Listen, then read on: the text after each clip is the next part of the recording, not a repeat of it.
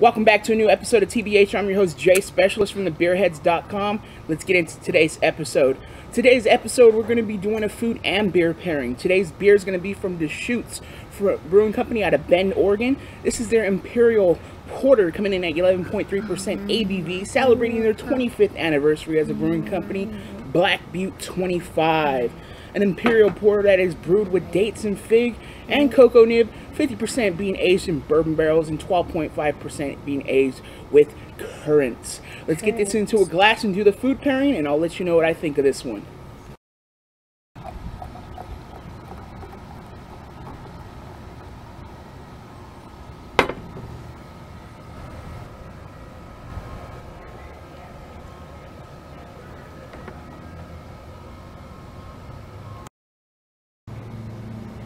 Wow, this is fantastic. You definitely pick up a lot of dark chocolate, cocoa nibs, some caramel, sweet vanilla notes, that breadiness in here. Um, some toasty, biscuity-like qualities. Definitely picking up some sweet vanilla, a little bit of that um, sweet date in there, that fig as well. Um, it's a bittersweet-like aroma in here.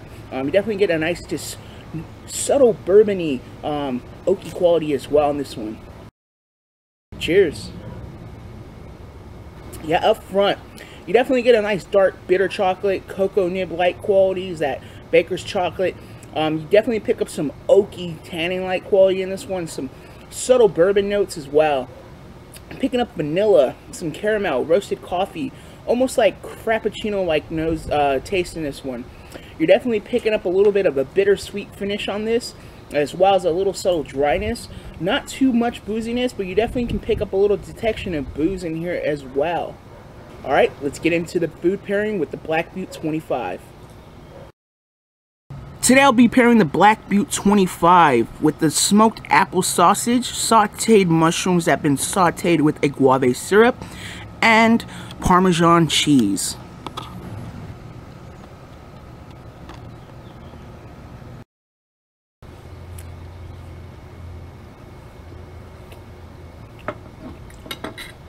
The apple smoked sausage is fantastic. You definitely get that nice sweetness of appley smoked goodness in here. Especially since it has the sauteed mushrooms, the guave. You get a little bit of a guave nectar sweetness to this as well. Um, the burntness of the, uh, the crust of the sausage gives it off a little bit of a sweet crunch. It's fantastic. Let's see how the sausage pairs with the Black Butte 25.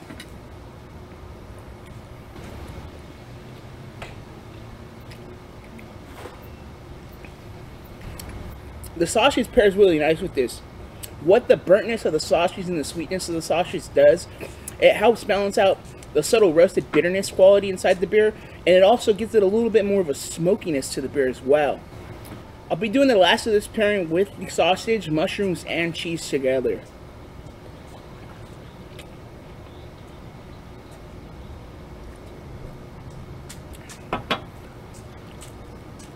Fantastic the milky like qualities of the cheese, the sweetness of the guava and the mushroom, and that smokiness, the sweet appley wood uh, quality of the sausage actually gives a nice, more creamier feel to the body as well in the beer. Smokiness comes out, that sweeter vanilla pops out, the bittersweet date starts to blend away, and you start to pick up a little bit more oakiness now with this as well. This was definitely a nice food pairing. Well, you guys, that was a fantastic food pairing, and Black Butte 25 was a fantastic beer. A little bit more better than last year's, I think, uh, with the oakiness popping out a little bit more. Not as uh, much sweetness, residual sweetness that was from last year. You definitely got a little bit more bitter, sweet, just sweeter, sugary quality of the beer last year.